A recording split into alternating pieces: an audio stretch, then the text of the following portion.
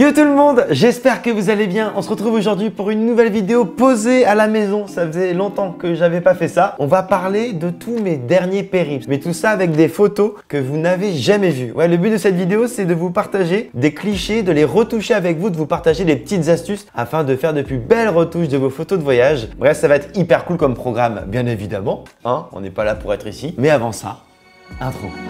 Je m'appelle Bruno et ça fait plus de 10 ans que je parcours notre belle planète non-stop. Mon but, c'est de vous donner l'envie de partir à l'aventure à votre tour. Oh, c'est un truc de ouf. Alors abonnez-vous pour ne pas manquer mes voyages autour du monde.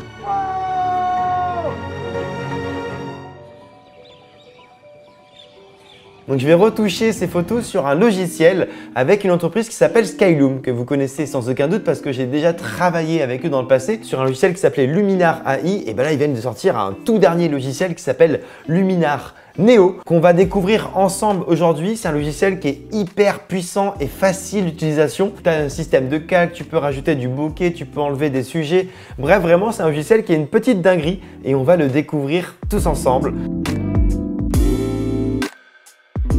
Pour cette toute première photo, je vous emmène donc avec moi aux États-Unis d'Amérique, dans la grosse pomme à New York City. Et sachez qu'à New York, j'ai pu immortaliser la ville d'un point de vue vraiment inédit, s'appelle la Steinway Tower. C'est le gratte-ciel simplement le plus étroit du monde. C'est une tour qui est résidentielle, on n'y a normalement jamais accès. Mais quand je me suis baladé à New York, je me suis dit, bru bru, envoie un email au bluff aux équipes marketing de cet endroit. Et ils m'ont dit, ok, pourquoi pas, tu peux venir demain. Je suis allé avec mon meilleur pote Arnaud qui habite à New York, j'avais fait une vidéo avec lui sur vivre à New York et on est allé à la découverte de ce fameux appartement en construction. C'était un endroit extraordinaire, j'avais fait quelques stories sur mon compte Instagram que je vous partage là par-dessus moi. Notamment, il y avait cette vue-là qui donne sur le Chrysler Building qui est un endroit euh, magnifique. Pour moi, c'est un des plus beaux buildings de New York simplement. Le bâtiment qui est tout à droite, il sert pas à grand chose. Ce que je vais faire, c'est vraiment donner de l'importance au Chrysler Building. Horizon droit, Chrysler Building au centre.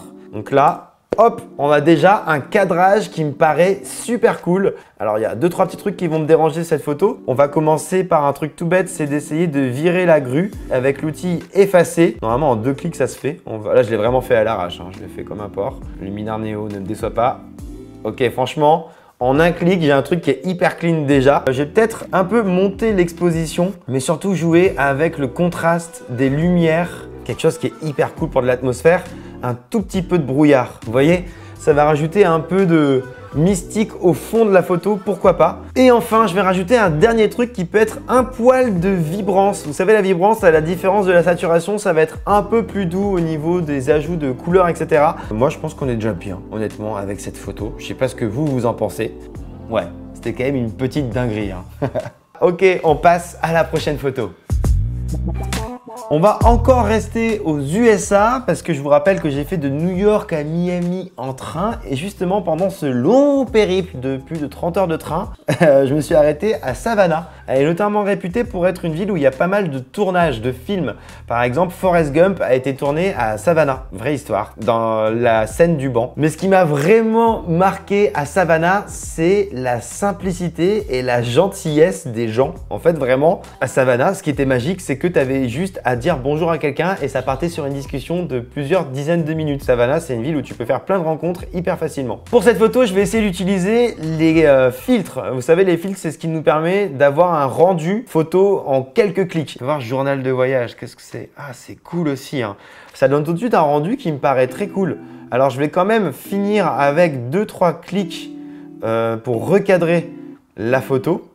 Hop, mais j'aime beaucoup le rendu qu'on a là en vraiment avec juste le filtre que j'ai. Hop, et on a quelque chose qui est très cool. Je vais rajouter un tout petit peu de couleur.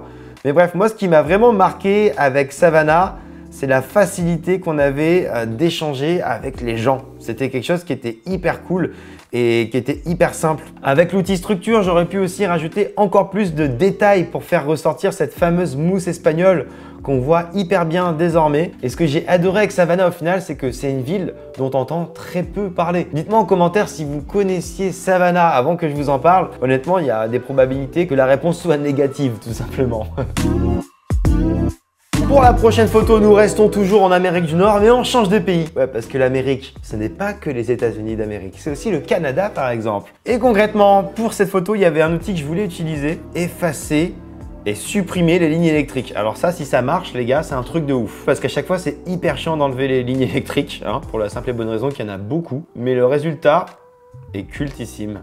Oh là là là là En un clic Bref, cette photo, je l'avais déjà éditée, donc je vais pas forcément perdre des heures à la retoucher. D'ailleurs, pourquoi pas commencer par quelque chose, d'une retouche classique. Ah ouais, tu peux avoir des rendus vraiment, mais genre 2-2 quoi, c'est impressionnant. J'aime bien ça, moi. En juillet dernier, j'ai passé trois semaines, un mois au Québec. Euh, c'était extraordinaire et cette route, elle est vraiment sans fin. Elle est vers un lac à la limite de la frontière américaine. On était avec Jeanne, ma pote québécoise, en road trip. En termes de recadrage 4-5e, tu connais Instagram, tout petit peu, voilà, hop, comme ça. Et on a un rendu qui est vraiment hyper canon. En deux clics, j'ai supprimé toutes les lignes électriques, j'ai fait un petit recadrage et j'ai une colo qui est plutôt sympa à mes yeux. Que demande le peuple? Je ne sais pas, mais Luminar Léo vous l'offrira quand même. C'est toujours hyper impressionnant. Bref, on va changer de photo encore une fois. On continue dans les anecdotes et on va aller cette fois en Côte d'Azur. Euh, je ne sais pas si vous vous souvenez, mais j'ai vécu un beau périple avec ma pote Little Gypsy en train et uniquement en train. Et justement, on ne le sait pas forcément, mais il y a plein de randonnées que tu peux faire en Côte d'Azur, notamment dans le massif de l'Estérel. On avait fait une rando qui nous avait pris une bonne heure et demie, je dirais, afin d'arriver à un sommet qui est plutôt sympa. J'avais sorti mon drone parce que c'était un endroit où j'avais le droit dans l'Estérel. On avait euh, bah, kiffé l'instant, etc. Mais en partant, il y a un hélico qui a débarqué de nulle part, qui a sorti des projets énorme et qui cherchait exactement là où on était. Peut-être que quelqu'un a appelé pour nous, ou peut-être que quelqu'un, a un danger autour de nous, mais on n'avait vraiment rien entendu du tout. Et concrètement, on s'est dit, mais en fait, qu'est-ce qui se passe, les gars? Il y a un hélico qui passe au-dessus de nous, etc.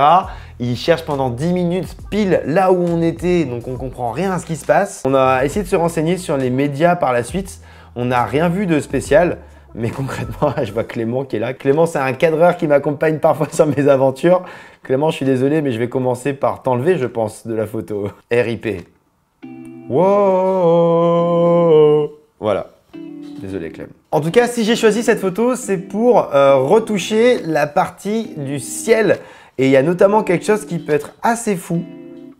Un clic. On va voir si ça marche. Oh, franchement, c'est assez ouf comme résultat. un clic, je pète des câbles. Il n'y a pas seulement l'ajout du ciel en mode dégueulasse, c'est qu'en fait, l'intelligence artificielle, elle va même retoucher les couleurs qui tournent autour. C'est-à-dire qu'il y a un peu plus d'ombre, c'est un peu plus sombre, etc. C'est des petits détails. Tu peux même mettre un coucher de soleil. Alors moi, vous le savez, hein, je suis team ne pas tricher là-dessus. Les couchers de soleil et les levées de soleil, je les vis vraiment à chaque fois. Mais si tu veux raconter une histoire différente de ce que tu as vécu, tu peux même faire croire que tu étais en pleine journée si tu as besoin pour un shooting particulier ou je ne sais quoi. Ça, par exemple, ça rend hyper bien. Et c'était en un clic. Alors, elle représente pas du tout l'instant qu'on avait vécu, mais c'est pour vous montrer encore une fois la puissance de l'intelligence artificielle de ce logiciel. Ça fait, euh, ça fait, ça fait rêver, hein. c'est assez impressionnant. Coucou Momo. On continue.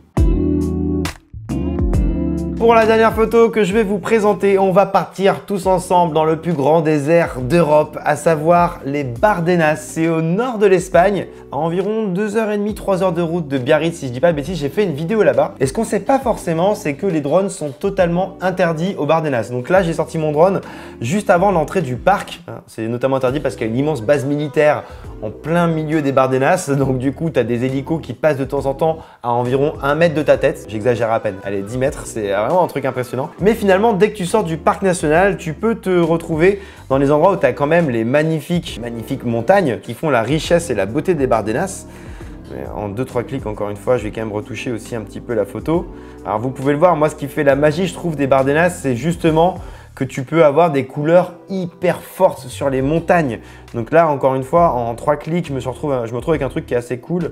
Mais ce que vous savez pas avec les Bardenas, c'est que j'ai failli perdre mon drone. À un moment, je l'ai justement fait voler aux alentours euh, du désert, comme vous l'avez compris, pas dans le désert. Je trouvais que c'était assez cool, je vous le mets par-dessus moi d'ailleurs. Fais mon plan, je descends le, le, petit drone et je pars. Mais du coup, il y a peut-être une étape que j'ai oublié de faire dans tout ça. Je devais peut-être récupérer le drone qui était au sol à côté de la voiture avant de partir. Je suis parti sans le drone en voiture en mode J'ai roulé une demi-heure, tranquillou bilou, avant de me dire, tiens, j'ai même checké les plans en drone que j'ai fait tout à l'heure. Et je me suis rendu compte que le drone n'était pas dans la voiture. Donc je me suis dit, bah franchement, c'est fini, je vais jamais retrouver mon drone là. Déjà, je sais pas exactement où je l'ai fait décoller tout à l'heure. Donc j'ai fait chemin retour pendant une demi-heure. Donc en gros, une heure de temps entre le moment où j'ai fait atterrir le drone et le moment où j'ai espéré le retrouver. Et guess what, comme on dit aux États-Unis, je l'ai retrouvé. Le drone était toujours là. C'est quand même un truc de ouf. Hein. Bref, cette photo, je trouve qu'elle rend pas mal comme ça. Je sais pas ce que vous en pensez. Contraste assez fort pour une fois, ce que je fais rarement, mais avec de telles montagnes, de tels rendus, je trouve que ça fait sens. C'est vraiment fou les Bardenas. Mais ne faites pas voler votre drone au Bardenas, juste aux alentours. Ça, c'est ok. J'espère que cette vidéo vous a intéressé, j'espère que vous a donné quelques petits tips pour retoucher vos photos, mais aussi des anecdotes un peu marrantes sur mes aventures à New York et autour du monde. Bref, si jamais le logiciel de Skyloom vous intéresse, Luminar Neo comme il s'appelle, vous l'avez compris, je mets tous les liens en description, je les remercie pour cette collab, c'est un logiciel qui est parfait, notamment pour les débutants et pour les gens qui veulent pas trop se prendre la tête, qui veulent avoir des résultats faciles et efficaces en 3-4 clics maximum. Moi je vous laisse comme d'habitude sur de belles images, on se dit à la semaine prochaine pour une nouvelle Et surtout, surtout. Peace